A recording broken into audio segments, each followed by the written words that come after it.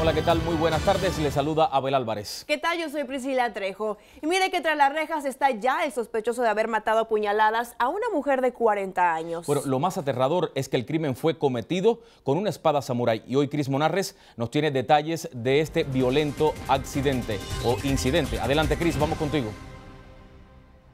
¿Qué tal? Muy buenas tardes. Efectivamente, Abel, me encuentro justo en la casa donde se vivió una historia de auténtico terror. Una mujer latina murió al ser atravesada por una espada de samurái. Un niño de 10 años, sí. Él vio cuando el muchacho mató a la mamá.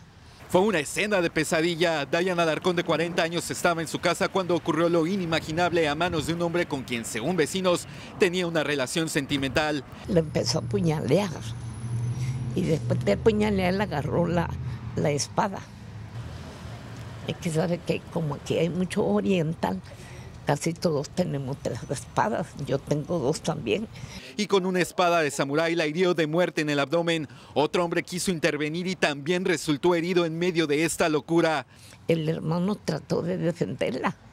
La mujer falleció en la escena, su hermano fue llevado al hospital y sobrevivirá al ataque. Por lo que respecta al sospechoso, identificado como Johnny Ralph Perales, de 44 años, se entregó a las autoridades y enfrenta cargos por asesinato. Vecinos que no quisieron hablar a cámara comentaron que tiene un problema de consumo de drogas, además de un pasado criminal.